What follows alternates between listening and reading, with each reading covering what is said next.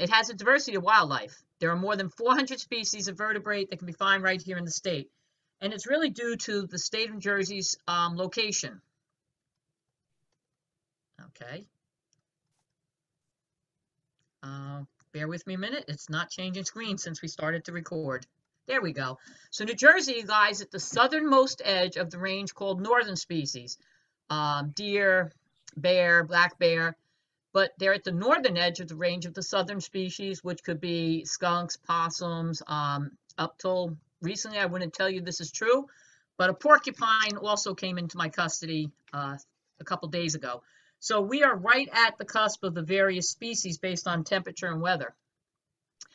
That fact, combined with the hundreds of miles of coastline and the five physio physiographic regions and the pine barrens, combines to support a diverse, abundant wildlife. We have every kind of system. We have dry, arid areas, somewhat like deserts. We have the highlands. We have river basins.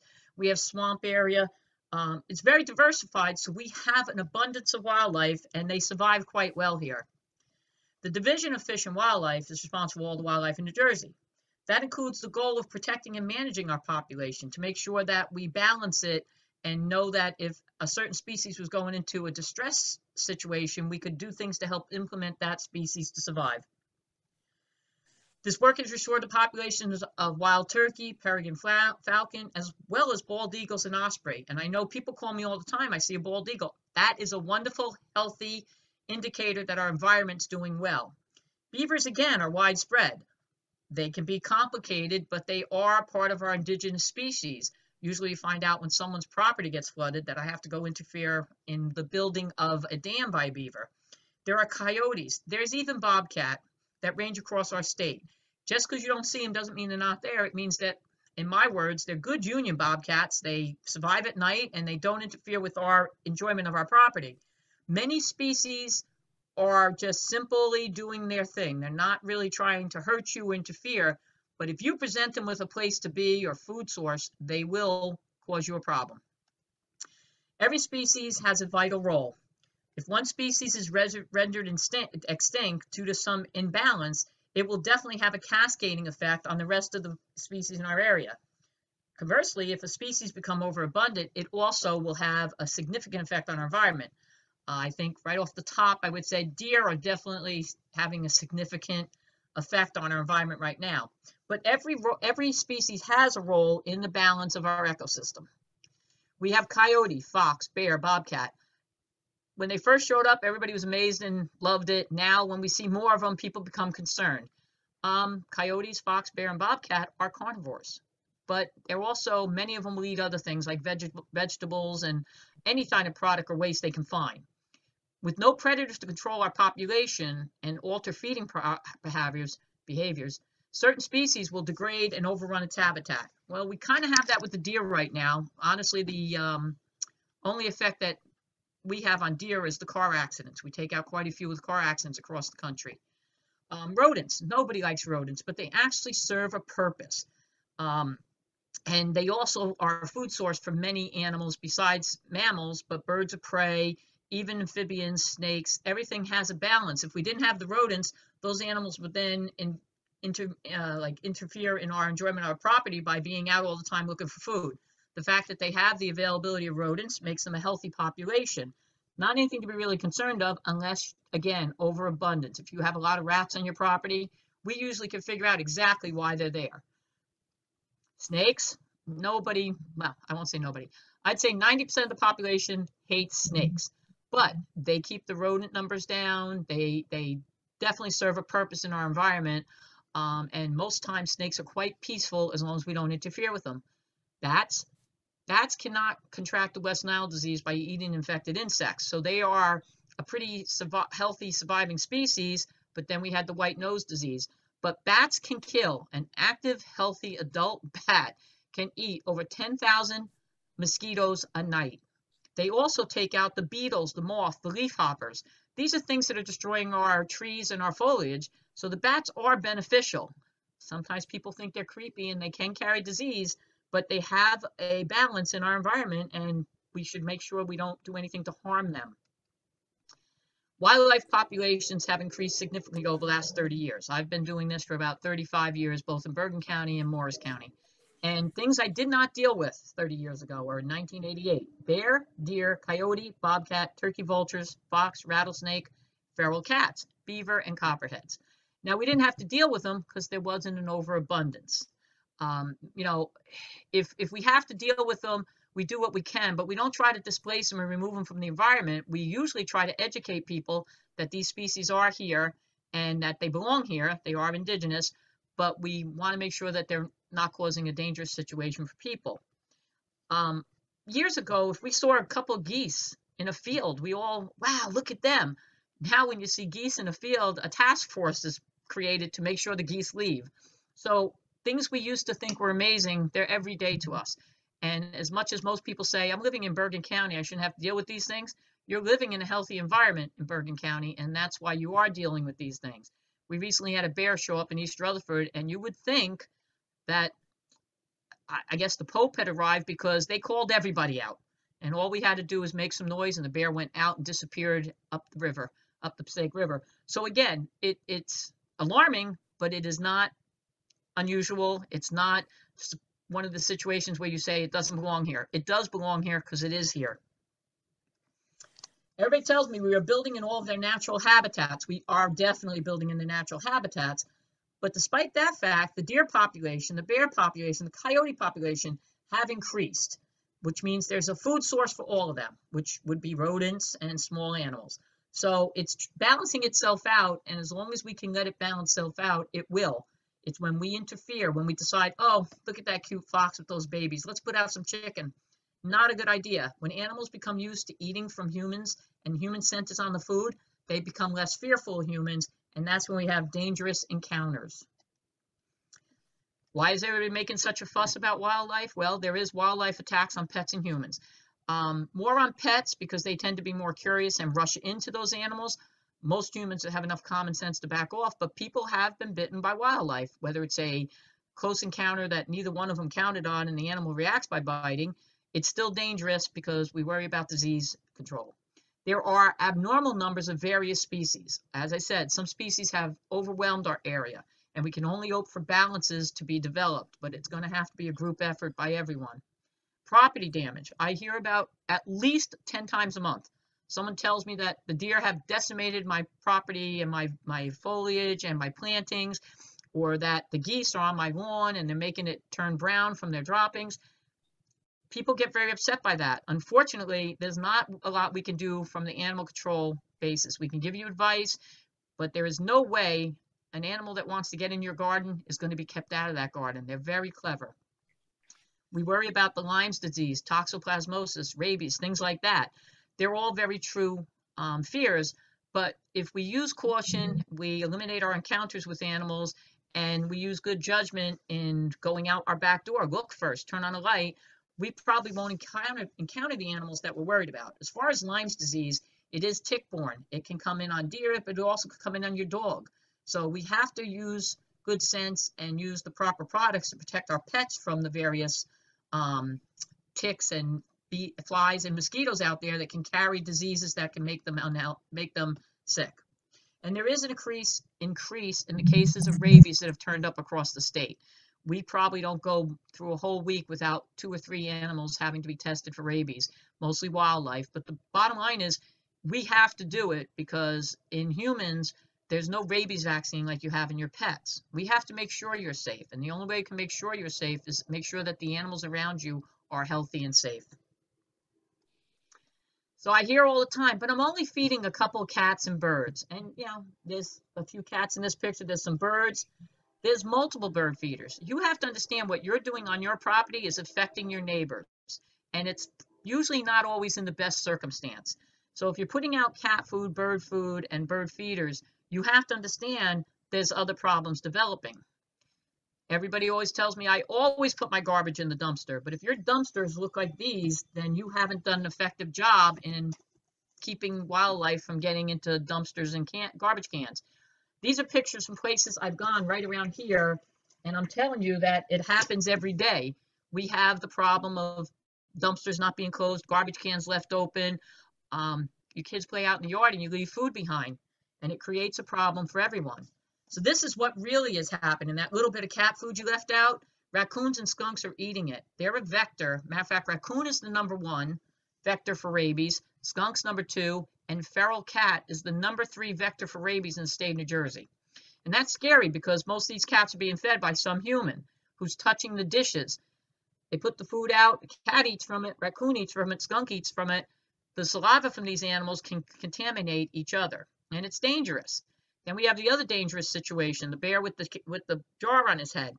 That's from going in someone's garbage. But we can't let that bear walk around like that because someone approaches him, he could hurt him. So we do have to intercede and we have to get Fish and Wildlife up here with tranquilizers so we can get the container off the bear's head. It's dangerous, but it's also cruel to let the animal die that way. You see the squirrel at the feeder. You see the deer at the feeder. Well, I'm only putting out some bird seed, but you're feeding other animals you didn't intend on feeding. And the more use they become to the food with human scent, the more they're going to approach humans and put themselves in a situation where we have to intercede and remove them. You see pets being attacked by coyotes. We're getting this all the time. Bears going into people's properties. And if you happen to leave your garage door or shed doors open regularly, you're going to have part of the problem. We've gone into numerous garages and sheds where we've had to chase a bear out of. We've even had chase bears out of store, stores that left their back doors open. It's not easy. There's property damage done. So closing your house, securing your doors, securing your dumpsters, taking care of making sure you're you're doing better practices to prevent the animals from entering your home and your property is the easiest solution. As you see in this case, the, the geese. A goose will protect its nest, and that poor bicyclist just made the mistake going past the nest. And honestly, fortunately, he stayed on the bike, but we've had people call us with injuries and pecking wounds and stuff, and it is scary. I don't think a goose is going to hurt you badly, but it is going to scare you. People fall over running away from them. And it's disturbing to have something like the size of that goose jump out from a bush and attack you. As with the turkey, we have a lot more turkeys in Bergen County now. And honestly, it's it's crazy how many calls I get a day. They're attacking people, just running up at them, especially during breeding season, or pulling up to cars, stop the traffic lights, and pecking the sides of the cars. They're not after the cars. They see their reflection in the shine of the cars, so they think they're pecking at another turkey, when in fact they're destroying your car and we can't get them go away because they think they're with a flock of turkeys because your car is so nice and shiny.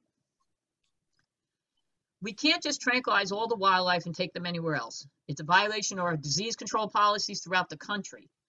Tranquilizers can take up to four to 10 minutes to take effect. So a drug animal is running around for four to 10 minutes before we can locate it and catch it.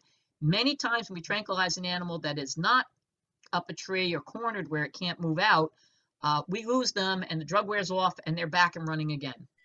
And no one else um, needs or wants these animals in the neighborhood. I hear all the time, why don't we round up all the deer, put them in a trailer or a train and take them out where the hunters are?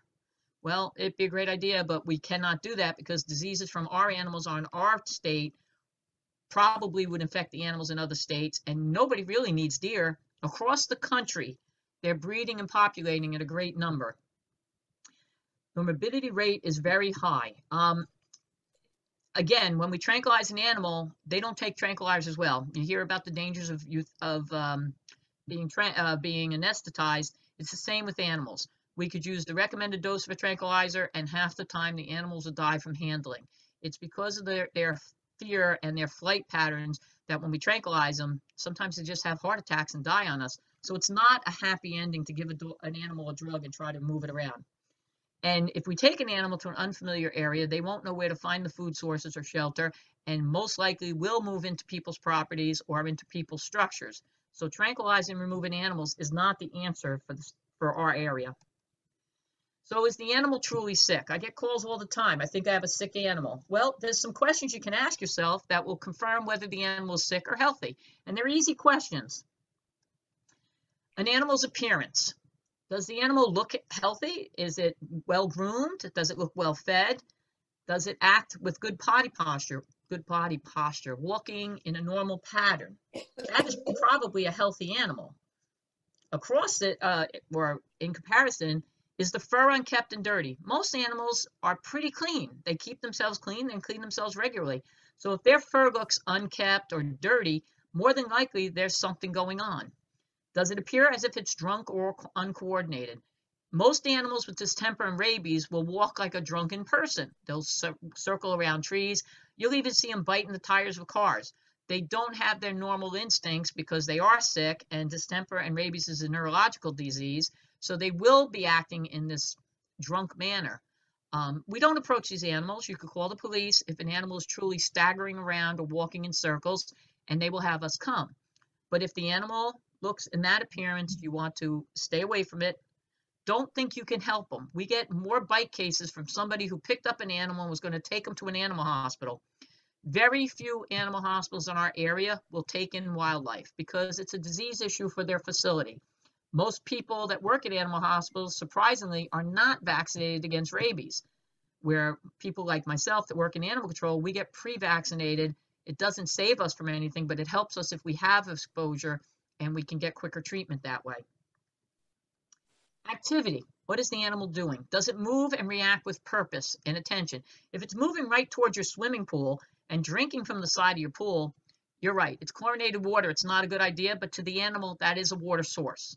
So don't think that that's one of the things we're worried about.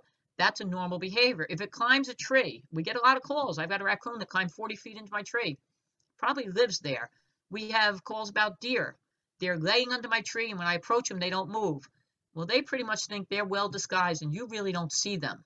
We get a lot this time of the year, and the last two weeks especially, baby deer laying under bushes. Well, he's been there for uh, four or five hours, and the mother hasn't come by.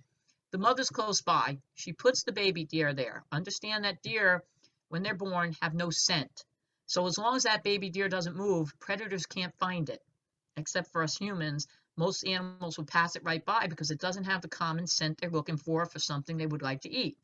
So the mother deer put them there and leave them there. So it's not anything you need to interfere with. Normally our answer is, let's wait 24 hours and see if it's still there.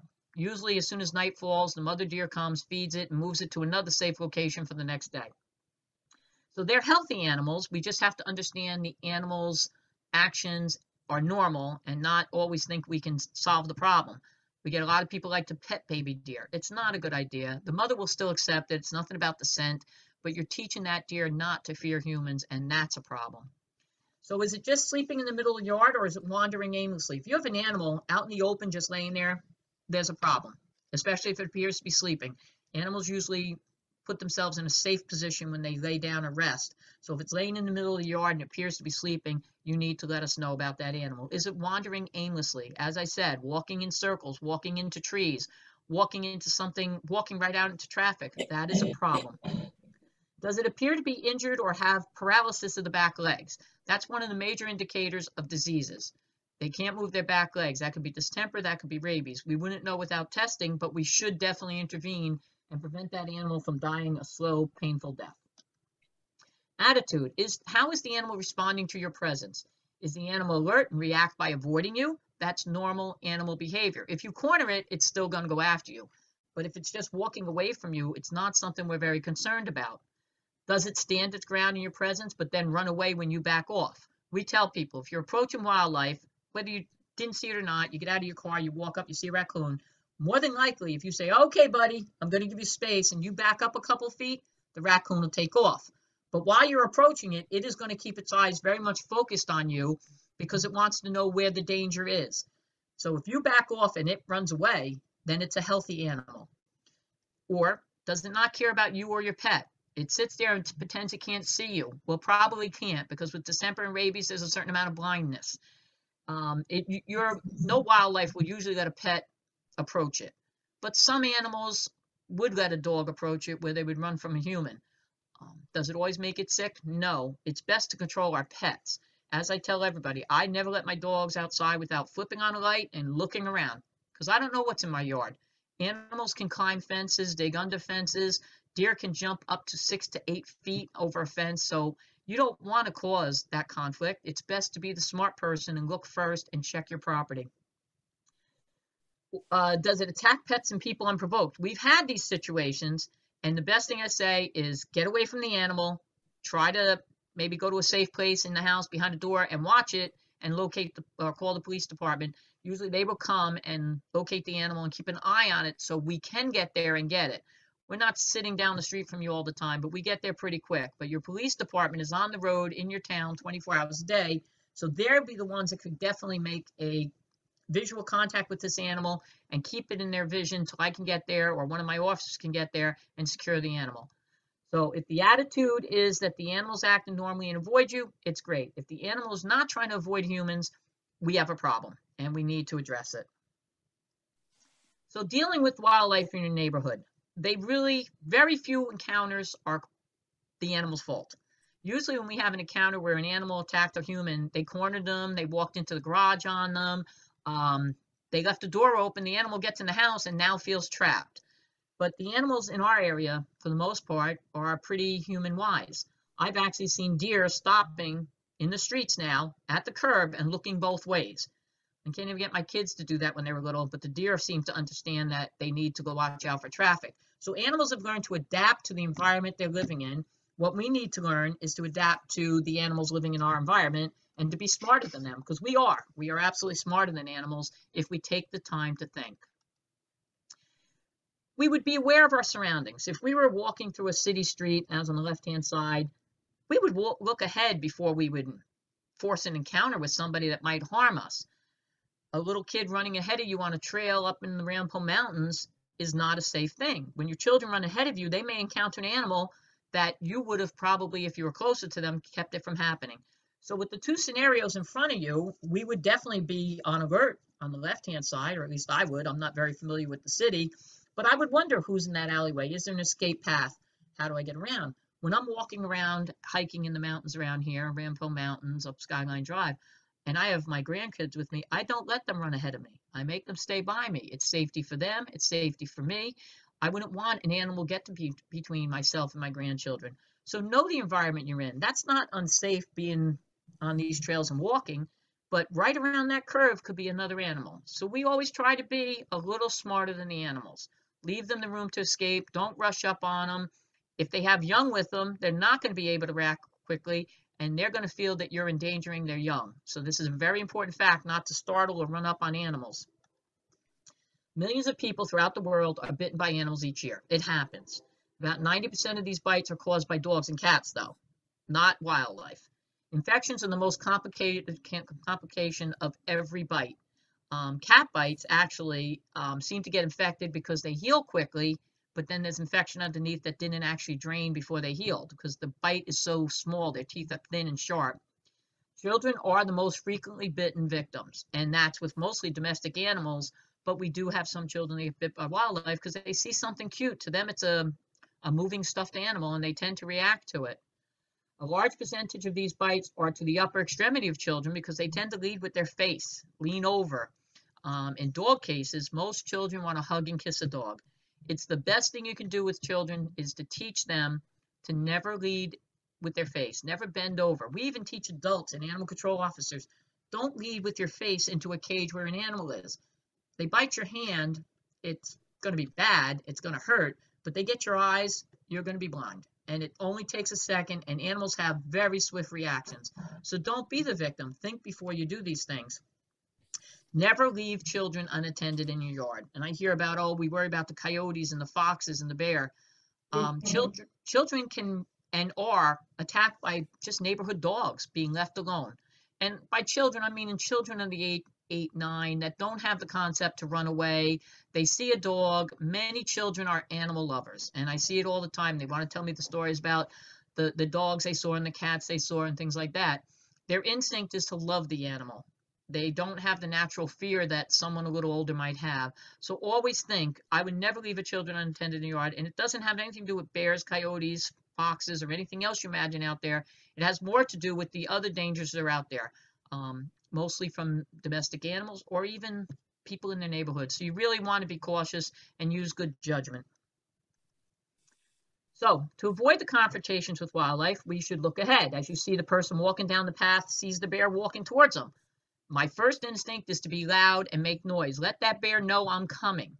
It's the same deal with coyotes. I've yet to see a coyote that didn't react to noise. We carry noisemakers. They're little air horns you can use in boats. They're great. They're small. They fit in your pocket. They work on wildlife and domestic animals. If you have a dog charging up to you and you blow that horn, you're going to get that second you need to get away or to divert the animal from coming at you. A whistle, a bell, anything that will startle the animal. They're used to us talking. They might be used to us, our the way we breathe, the way we talk when we're walking along, but they are not used to the, the sound of a whistle or a bell going off. Those will distract animals very quickly.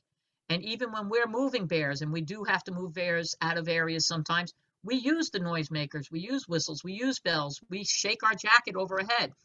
In the animal kingdom, the biggest is the winner. There's very few times confrontations actually go forward between two animals because they puff up and they look really big.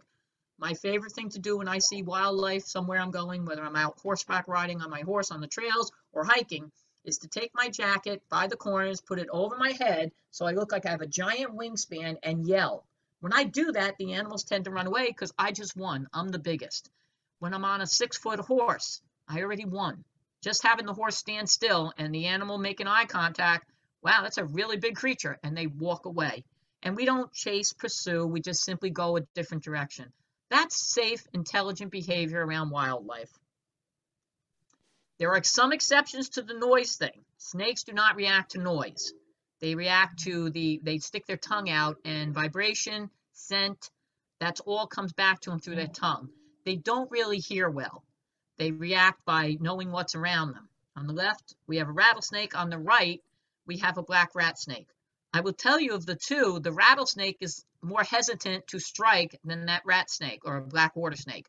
They are very aggressive and honestly, um, what we see a lot around here in New Jersey. They're great hunters. If you have one in your yard, it means there's a food source. If you have a rattlesnake, it means there's a food source in a body of water. So always think that although there's a snake on your property, it may not be a bad thing. You may have a chipmunk or mouse or a vermin problem that you don't even realize you have yet. But the fact that they're there means there's a food source. So don't be um, quick to, I know a lot of people tell, oh, I chopped his head off and stuff. You now you're causing an imbalance again. Let's try to think better. Try not to harass these animals. Try not to encounter them. When you're walking through a field, always look where you're walking. Um, I know a lot of fields have high grass in them, and I'm great with carrying a walking stick and kind of brushing the grass ahead of me when I'm going through high grass because I don't know what's under the grass, but I should know if I'm going to be responsible for my safety and the safety of others. Never turn and run from an animal. You won't win that race. You have two legs, they have four. They run all day long. They're like marathon runners. So no matter how fast you are, you won't outrun an animal. They can run faster and their endurance is usually a lot more than ours. Most animals won't do more than a couple strides of charging at you to, to what we call a bluff charge. Bears, deer, coyotes, they do a bluff charge to try to say, hey, I'm tough. And if you start running, they'll start chasing you. It's prey drive. Every animal has it. Um, so you definitely don't want to run away from an animal. You want to keep an eye on that animal. You want to get loud. You want to walk away carefully. You don't want to throw things at them or anything to harass them. You want to allow them to leave peacefully, and you're going to leave peacefully. And in most times you do that, the outcome will be a good one. So really, just running is never a good idea, even with domestic animals. I mean, I've had cats chase me when I go into someone's yard because I get startled, I turn, and the cat comes forward until I turn and face them. So understand, in the animal kingdom, if I turn my back, I became a victim to them, and they will chase you. Maybe it's harmless, maybe it's playful, but you really don't want to start that practice. So always just keep an eye on the animal that you are worried about and try not to encounter it, but walk, walk away, away, making noise, singing a song, whatever you got to do and teaching your children these same concepts will keep them safe also. So avoid cornering an animal. Never make eye contact. If you look directly at an animal, you're challenging them. Any animal, even a rabbit, if you look it in the eye, it'll kind of look back at you and it will run because you've encountered it. You've made that contact. But we don't need to do that. We don't need to dominate any species out there. Make noise. We are the noisiest species in the world, and animals expect that from us. If you come up silent and quiet, they don't expect that from you. So make noise. Back away slowly. Don't run. Don't turn your back. If the animal's coming at you, you should know that. You should use whatever you can to keep it away, your jacket, uh, anything. Hey, in a fix, throw your phone. I see many people with animal encounters that are videotaping it. Did I tell you anything you don't know? No. Hello? I'm sorry. I thought we had a problem. I see people videotaping things instead of trying to get out of the area. If you're encountering a wild animal, count on the fact the wild animal does not want you there and wants to do everything it can to avoid you. You need the animals for balance. Oh, okay. Okay? So never turn your back on an animal. Always know where they are and always know where you're going. Look for your escape route because they're looking for theirs. And allow the animal the room to escape. If you're between two buildings, go the other way. Let the animal have the escape. If you happen to encounter an animal where you have it caught up between a Water fence, snake, Jersey, that are more prone to attack you than a rattlesnake. Rattlesnake is shyer about attacking. What are they poisonous? What, what's wrong Yes. with the black snake? Black water snake, not that black garter snake that we have. Hmm. okay? Oh, Ted Ross killed one. That was not a garter snake. Yes, it was. You know, we'll probably do comments. We'll probably Yeah. do comments at the end of this. Please, everyone mute yourselves. Okay. So again, allow the animal room to escape. If you happen upon an animal where you've already cornered it, just quickly try to get out of that situation. Even just move to one side, they will shoot past you. Most times they'll go right past you. They won't encounter you. They may bluff charge you. They may even hiss at you, but give them room to escape. And of course, they talk about taking animals away. They're against it naturally. Are there any questions that I can answer now? Somebody else's place, You're also breaking up a family, just like you said. Right? You're breaking up a family. She could be a, it could be a female. Rosalie, please mute yourself. Everyone hears what you're saying. Okay, at this point, if there are any questions or concerns, you probably could ask me them right now.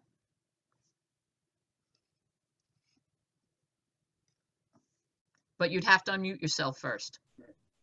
Carol, there, there are a, a couple questions in the chat. Um, Okay, I'm not seeing that yet. do You see, okay, I can read them to you if you'd like. I'm gonna try opening the gallery, which might cover my screen, but let me give that a try. No, I'm still not seeing it, Greg. Okay, um, so I can read them to you. Uh, are we doing anything with birth control measures to limit the deer population? Okay, well, we did have the experience in the borough of Saddle River where a veterinarian decided he would donate his time and a few residents donated money to try a birth control methods, whether it be prophylactic, which is meaning food left outside for the animals with the drugs in it, or actually physically catching and neutering the deer. Our experience is, first of all, Fish and Wildlife will not permit it on a mass permit. They'll give a permit for one deer at a time. It's a silly process when we we're going through the Saddle River process, we did three years of discussion and oversight. They actually did helicopter surveillance at night with thermal imaging cameras. Saddle River is about two miles square. In that thermal imaging, they found over 200 deer. The carrying capacity for most areas in New Jersey in a one mile area is about 30 deer without affecting the environment. They found over 200 deer in a two mile area in one night of counting. So they needed to do something. So they, they did apply to the state. The vet was willing. He actually even volunteered my services. He said, Carol is a great friend of mine and she'll help me catch these animals and spay and neuter them. But the state knocked the plan down, and even the vet in the end said it wasn't a feasible plan.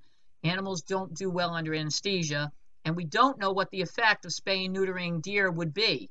Would they turn into cattle and stay on people's lawns? Because they don't have the drive that's forcing them to move along. Okay, thank you. Next, next question. Can you tell us about voles? How do we keep them out of our gardens? I'm a terrible gardener. Everything I own will die. And I have asked people that are gardeners what they do about voles, and they said that ma- mostly commercial products that are out there, I guess sticks, things that go into the ground. I can't tell you about my experience because I've never had to deal with them. But if you go to our website, there's a link to the Department of Fish and Wildlife. They have a whole section on voles and garden pest. Okay, thank you. Um, can we do a limited cull of deer with professional bow and arrow like they did, like they do in Saddle River? That would be up to your mayor, your council. There'd have to be studies. Fish and Wildlife will actually help you do this, um, but there's mixed mixed opinions on this. Um, it's up to each community. honestly, in my opinion, it should be up to the county, and the county should be addressing this issue as a whole for all our communities. But they seem to leave it up to each municipality. Um, Saddle River, yeah, some people it was successful. Yeah, some people they felt it was overkill or something like that. But it's up to each community to do what they need to do. I'm just there to advise in any way I can and help. Uh, next question is, what is the best way to react to a black versus a brown bear? Well, we don't have brown bears in New Jersey. They're all black bears, despite the fact that sometimes their color comes out brown. Um, but the best way to react to a black bear, depending on the space between you, if the bear and you are just a few feet apart, um, get loud but walk away. Don't turn and run. Back up. Find a point of safety. If you have space to react between you and the bear, say 10 or 12 yards, make noise. The bear may do a fake bluff charge. Very few black bears have been involved in um, dangerous encounters. I know the one in West Milford four or five years ago, but actually, through investigation, they found out the bear was being taunted by that group of youths. They had food with them, they had thrown food at the bear, then they kept walking. The biggest mistake they did was breaking off and everybody going their own direction. It left the victim for the bear to go after. Fish and Wildlife had done autopsies on the bear and found a lot of food that was consistent with the food in the backpack of the victim. So they don't say that was a predatory bear, but the bear might have been instigated by the actions of the humans. Bear tend to run away. Trust me, I have to get up close and personal with these things. I've never had one decide it was going to fight with me. They always run, which is how we get them up a tree so that Fish and Wildlife can intervene with tranquilizers and move them to a better location. Well, fancy. Th- Those are the only questions in the chat. So if anybody has any other questions, they should uh, unmute themselves and ask the questions now. Hello, um, I have groundhogs uh, in my yard. Are- they bad for for you know for the property? Uh, and how should I deal with it? Well, they're only bad if you want to have a successful garden. So I would tell you groundhogs live in communal groups, whereas most species chase their young away. Groundhogs embrace everybody staying together and working as a community to survive. Unfortunately, if you have one groundhog, you probably have 10 or 15. And if they're in a good environment, they have several holes or several tunnels that are interlocking. Sometimes we find tunnel systems through several properties. The best thing I can say is if you have a ground groundhog issue and you're trying to have a garden, good fencing with solid bottom or rock at the bottom or netting at the bottom will help you keep those animals out of your garden. Uh, the only other way would be to hire a pest control company to trap, but lately the state of New Jersey has pro- put prohibitions on them. So if they trap the animal, the animal usually loses. Translocating is not really a feasible answer because the distance you have to take the animal, you're probably presenting disease into a new area that they don't want it. So with groundhogs, we tell them fencing, diverting, cut off the food supply. If they don't have the food, they will not stay. They will find a more fruitful area to live. Um, we have a couple more questions, Carol. Um, Okay. What type of bear sprays do you recommend? Egg solids, pepper, etc.? Greg, I'm, I'm sorry, I meant deer sprays for vegetables. Oh, uh, for, deer. uh, Deer, not, not bear. Okay. Deer sprays. Well, in all honesty, um, we found over the years there are certain products that do work for a period of time. There were also certain plants that used to work for a period of time. But as the population increases and the food sources become less available to these deer, they'll eat plants that they've never eaten before, and sprays and certain products are only as good as the application you do. If you apply it on Monday and it pours on Wednesday, you need to reapply it on Thursday. It's only as good as the user who's using it. Now, I see a lot of people, one, one group will say this product's good, the other group will say this product's good. Um, whatever works for you. Years ago, we used to recommend noisy, moving things. Um, the best thing I ever used when I actually tried to grow tomatoes, which was really kind of didn't work well, but I got some tomatoes out of the garden, was the old fashioned lightweight pie plates that used to come in the commercially packed pies. They're very lightweight. We tie them on a string and put them around. Because they're so light, the wind moved them, which startled the animal's fright or flight instinct. They see movement, they run. I hear that we're having some success. Again, I'm not a gardener, but some friends of mine took up gardening, has had some success with the motion sensing sprinkler heads that when it sees motion, it shoots water and then it turns off. That scares an animal because by the time they see it, they don't know where it came from. And most animals don't really like being shot in the face with water. So there's some limited help with that. As far as the products across the country that you can buy, Ropel, um, Deer Be Gone, all of them, they're only as successful as how much you apply them and how much you're willing to spend on them to keep applying them. Because any, like even the, the dew in the morning can start washing that out. Um, so that'd be probably up to your experience with each product. Uh, Next question, uh, disregard my phone. I just moved to the reserve at Franklin Lakes. What wild animals are around here? I did see a fox during the afternoon, and what do you suggest we do? Once again, the best suggestion is enjoy it from a distance. Take a photograph. Don't approach, don't encounter, don't get too close to them. Give them a wide berth and they'll give you a wide berth. The reserve is one of my favorite places to hike, and it's beautiful over there by the um, North Haledon Reservoir, I guess it used to be called. I hike there regularly. I see most of the mammals in our area. I haven't encountered any bear there, but the deer is abundant because the food source is abundant. Those are the uh, remaining questions in the chat. So again, if anybody has any questions for Carol, now's the time.